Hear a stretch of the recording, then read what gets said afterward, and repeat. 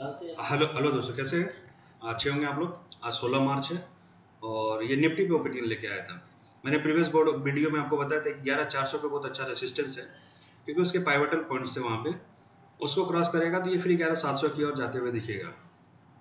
Market में जिस तरह की तेज़ी दिख रही है, उसमें ग्यारह छः सौ पचास एक बार हो सकता है जाए वो वहाँ पे, ग्यारह छः सौ पचास की ओर।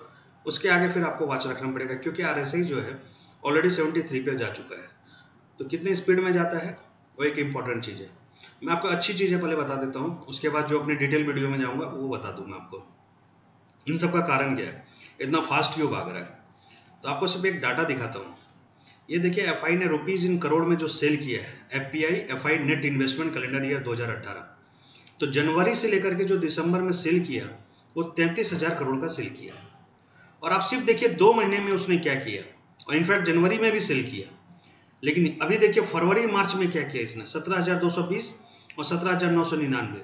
जबकि ये जो डाटा है, जो मार्च का डाटा अप टू सोलह मार्च 2019 का है। इस अप टू सोलह मार्च उसने ऑलरेडी तीस हज़ार करोड़ का बाइक कर चुका है।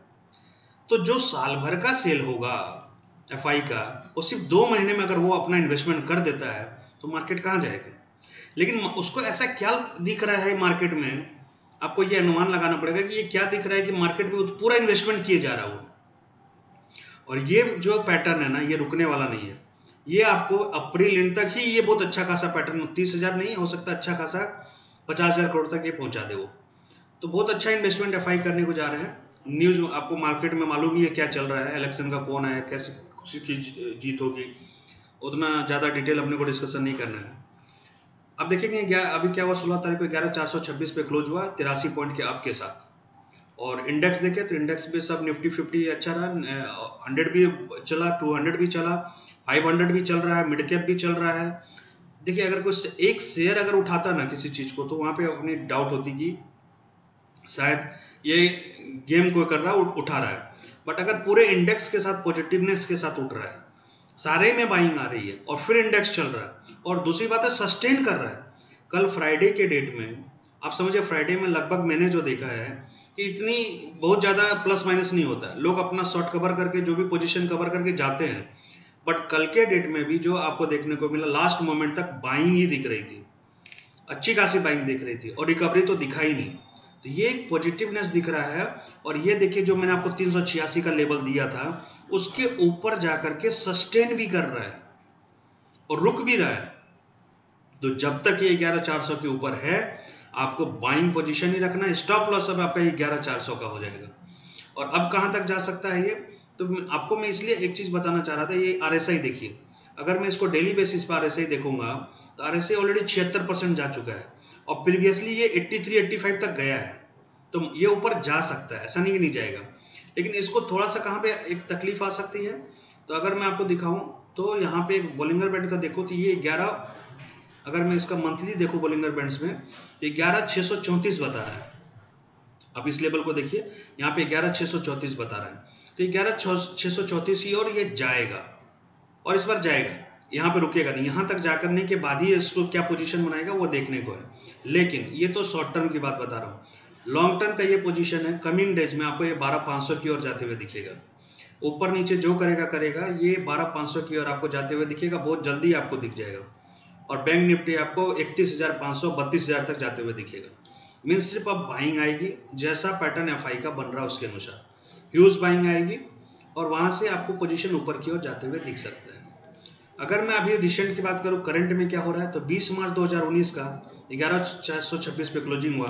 तो एट द मनी अगर जाकर के देखो, ग्यारह चार के आसपास तो यहाँ पे कॉल में अनवाइंडिंग हो रही है, तीन लाख अड़सठ हज़ार के। और यहाँ पे कॉल में नौ लाख उनासी हज़ार से ग्यारह चार सौ पे शॉर्ट किया जा रहा है।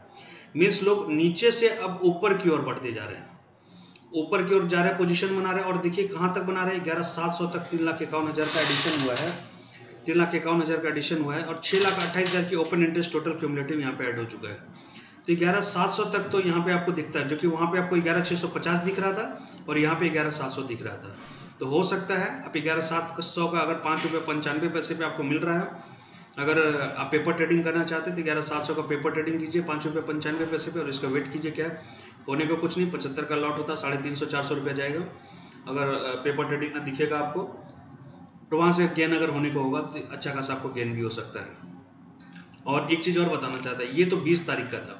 मैं एक बार इसको ट्राई कर रहा था देखने के लिए, मई में क्या पोजीशन बन रही अभी से अगर मई का पोजीशन देखें तो अब मई में देखिए क्या हो रहा है। मई में बाइंग चालू है, और कहाँ, किस लेवल तक बाइंग चालू है?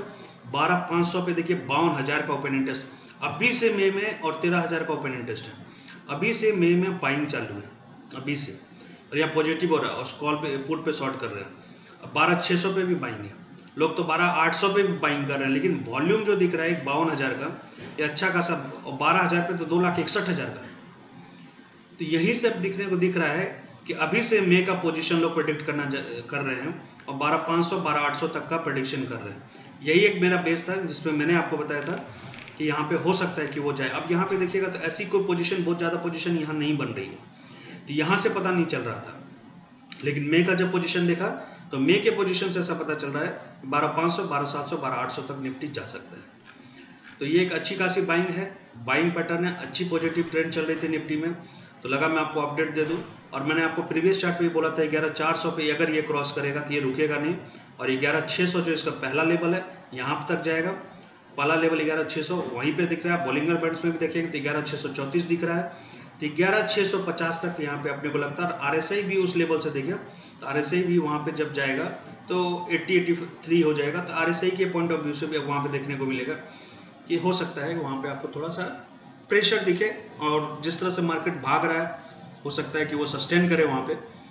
तो शॉर्ट टर्म के लिए ग्यारह छः सौ पचास का टारगेट तो है ही। और आपको लॉन्ग टर्म की अगर बता ही दिया बारह, पाँच सौ, बारह छः सौ, दो, तीन, दो से तीन महीने में बिफोर में आपको बारह, पाँच सौ तक शायद देखने को मिल जाए आपको। तो निफ्टी पे का अच्छी पॉजिटिव व्यू है अच्छा ट्रेंड चल रहा है निफ्टी पे। चाहे तो आप कोई पोजीशन बना करके रखें। और जो लास्ट क्लोजिंग हुई है, बहत्तर एडवांसेज अठहत्तर, अठारह डिक्लाइन है। मीन्स ये भी एडवांस की ओर ही दिखा रहा है। तो सिर्फ़ पॉजिटिविटी निफ्टी में दिख रही है। ये सारे मेरे एजुकेशनल पर्पज से सिर्फ़ थे मेरा कोई बाइंग सेलिंग रिकमेंडेशन नहीं है। आपको अगर कोई भी बाइंग सेलिंग करना है तो अपने फाइनेंशियल एडवाइजर से पूछने के बाद ही करें। निफ्टी पे सिर्फ़ मेरा ये ओपिनियन था व्यू था। पैसा आपका है, ध्यान आपको रखने का है। वीडियो देखने के लिए धन्यवाद।